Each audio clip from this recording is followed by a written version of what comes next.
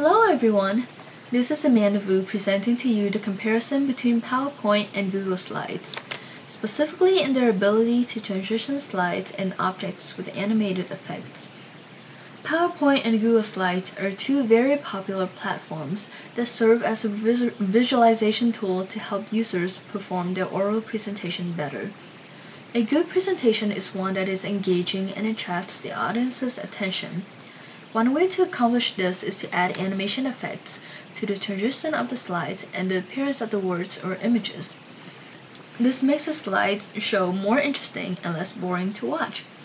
Fortunately, both platforms have this function to offer, which can be found easily from the display toolbars. Now, let's look at the differences. PowerPoint has a wide selection of animation effects for users to serve the purpose. Users can choose from as many as 40 different effects for transition between slides and as many as 50 different effects for appearance for objects within the slides. They can also type in the number of seconds to indicate how long they want each effect to last. One thing I really like is that each effect has a little icon describing how it will look so I don't have to waste my time click on clicking on each effect to see the results before deciding on the one I like. Google Slides doesn't have as many effects to choose from. There are less than 10 transitional effects for the slides and only 15 animation effects for the objects.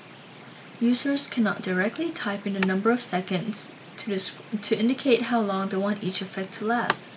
Instead, they have to drag this bar between slow, medium, and fast, and then the number of seconds will appear on the top.